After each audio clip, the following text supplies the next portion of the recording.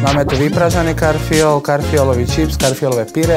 Vôbec nevidím rozdiel medzi jedným a druhým. Vyživné to nie je takmer vôbec. Už by mi tam chýbala len tatarka. Toto je môj dezert.